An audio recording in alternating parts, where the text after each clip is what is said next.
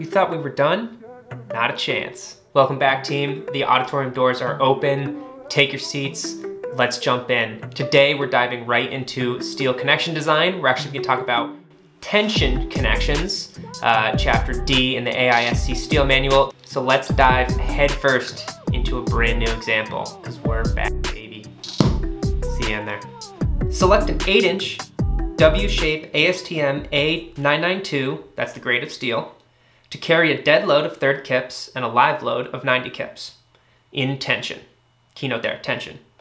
The member is 25 feet long. Verify the member strength by both LRFD and ASD with the bolted end connection shown. Verify that the member satisfies the recommended slenderness limit. Holy shoot, what? Assume that connection limit states do not govern. All right, well that's pretty helpful. So this is a steel tension example. That means we're gonna grab our tab, because we all got our tabs, and we're gonna be heading over to chapter D. That's in the back, and that is all about the design of members for tension. I mean, that's the title right there. That's where we're gonna wanna be. There's only like four pages within this chapter. So design of steel and tension, uh, there's not a lot to it. It's pretty straightforward, but there's a couple of gimmicks that are a little strange. And that's where this example is really gonna make things clear and make you a lot more sound with the design of steel members in tension. One thing that we're gonna do to simplify this problem is we're actually gonna cut it in half. So we today, we're gonna go red, we are not gonna be solving for ASD application. Let's just do it for LRFD. First thing, let's factor our loads. Uh, we have dead load equaling 30 kips and a live load equaling 90 kips. Without getting too far into all the different combinations per chapter 2 of ASCE 716, uh, I know off the bat that I believe 1.2 dead load plus 1.6 live load is going to be our controlling case. That's what it is most of the time, but if you have something weird, always go back and check to make sure that you are using the governing load combination. What does that get us? Plug it in, 1.2, 30 plus 1.6 of 90 gets us 180 kips. That is our demand. So now we need to check all of our failure modes and determine which one is governing, okay? So in the 14th edition Maroon Steel Manual, you're gonna go to page 16.1-26. I have it over here next to me, so I'm gonna be glancing back and forth. I'm not doing the visual on the screen today, so just follow along to my beautiful voice, okay? And we're gonna go down to section D2, tensile strength. And what you'll notice is one of our first uh, limit states is tensile yielding. All right, so scroll down here. And that is just the following equation as shown of phi, because we're using LRFD, Pn equals Ag Fy. Ag is our gross area of our section of our wide flange, and then F sub y is our minimum yield stress, okay? And for our wide flange, to determine our uh, material properties, we're gonna go to table 2-4 in the steel manual, and you are going to see that typical wide flanges is A992 steel, which they did state in the problem, and that has a minimum yield stress, F sub y, equal to 50 KSI, and something else we're gonna need, FU, our minimum tensile stress of 65 KSI. AG is the gross area of our cross section of our wide flange and that we can find in table 1-1 at the beginning of our steel manual. That's where you have all the sizes and shapes. We're gonna go to, you know what, uh, we need to specify a size. So we need an eight inch W shape. So that's a W8 as they've specified here, but we need to kind of determine some size. Let's try a W8 by 21. I'm gonna use that for this. Hopefully it works. We're gonna go through until it doesn't, and then we might have to size up. Let's see.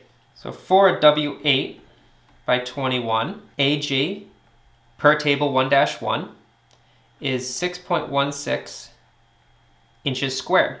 We have everything we need to solve our first uh, failure mode, which is tensile yielding. So phi, for this case, is equal to 0.9. That's specified right in chapter D with that equation, very straightforward. So phi Pn equals 0.9, 6.16 inches squared. and an FY 50 KSI.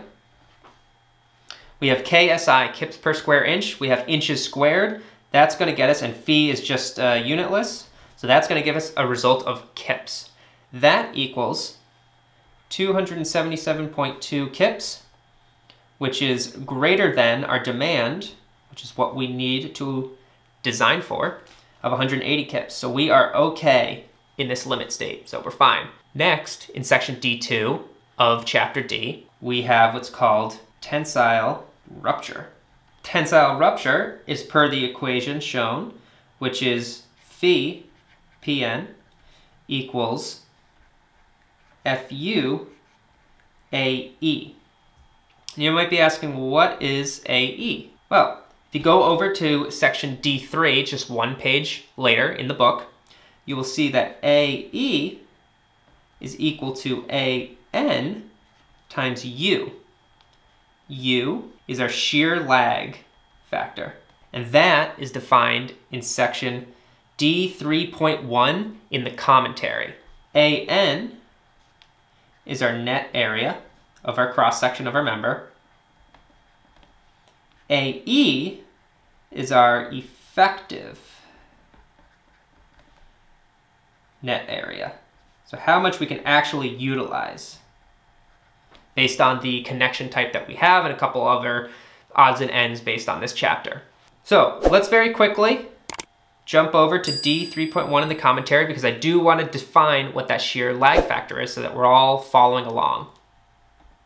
Now, for all of you, and again, sorry I'm using the book today, not the digital version. See the gray section right here?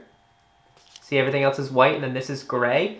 That is your commentary section, all right? So if we flip over to that, and the commentary section is laid out just like the chapters. So we were in chapter D before, now we need to go to the commentary section D, because that aligns with chapter D. Make sense? So chapter D is page 16.1-282, all right?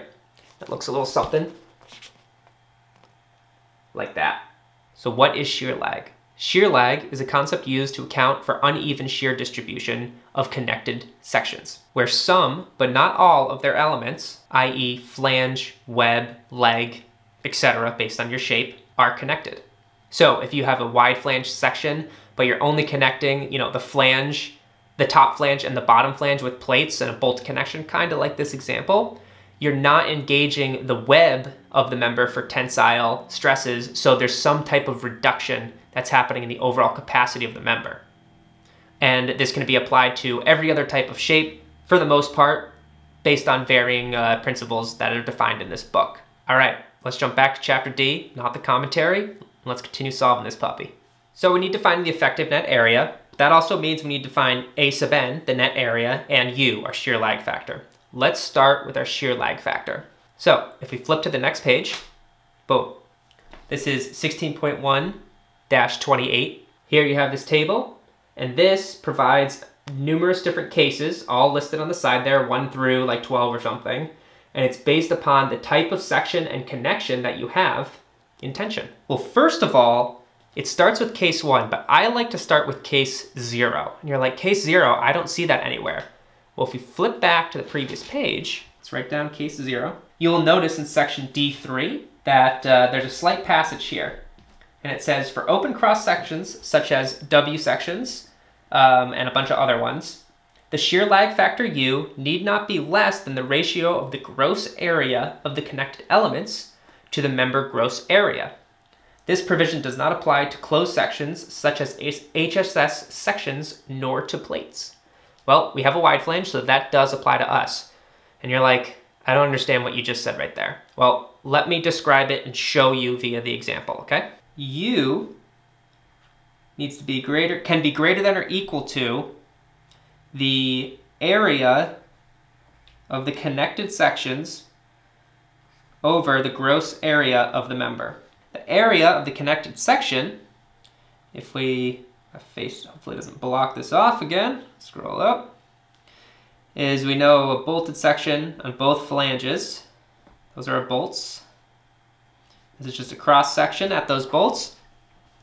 So that means, and we don't know what it's connecting to. Most likely it would be like plates or something, But the only pieces of our cross section that are getting connected are our flanges.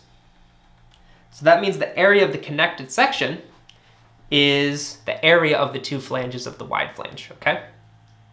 So area connected equals 2, because there's top flange and a bottom flange, times the width of the flange, b sub f, times the thickness of the flange, t sub f, divided by a sub g. Well, a sub g we know from above 6.16 inches squared.